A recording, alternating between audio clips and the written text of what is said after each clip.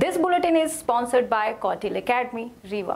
रीवा ज़िले के सिमरिया थाना क्षेत्र के चचाई चौकी अंतर्गत चंद्रपुर गाँव अतरैली में एक अधेड़ का शव घर से कुछ ही दूरी पर स्थित खेत में मिला। अधेड़ सोमवार की रात्रि घर से वैवाहिक कार्यक्रम में शामिल होने निकला था। इसके बाद वह वापस नहीं लौटा। मंगलवार को परिजन उसकी तलाश कर रहे थे लेकिन उसकी जानकारी नहीं लगी थी। बुधवार की दोपहर उसका शव घर से कुछ ही दूरी पर स्थित उसके भाई के बाँध में मिला।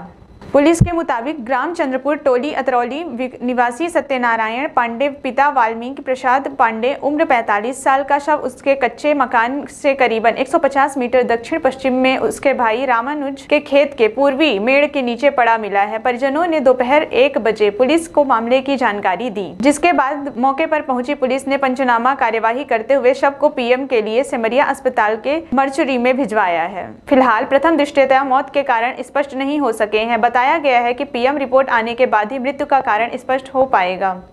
ये एक सत्यनारायण पांडे जी हैं लगभग चालीस वर्ष की उम्र है इनकी। और इनका करीब परसों के दिन से लापता थे। कल इनका स्व मिला है वहीं के पास के अंदर के इलाके में जहाँ कोई रहता रहता नहीं है। पुलिस ने बॉडी को पीएम के लिए भेज दिया है आवश्यक कार्रवाई करके। जैसे तथ्य आएँगे पीएम के बाद वैसी कार्रवाई की जाएगी। सर कहा तो ये जा रहा है कि हत्या कर दी गई है? यहाँ शंका तो हर बात में देखते हैं। पुलिस का भी काम है कि जब तक स्पष्ट रिपोर्ट नहीं आ जाए, क्लियर नहीं हो जाए कि आखिर उनकी मौत का कारण क्या है, तब तक पुलिस उसको मार्ग में जाँच कर रही है। और जैसी पीएम रिपोर्ट आती है तथ्यानुसार कार्रवाई की जाएगी।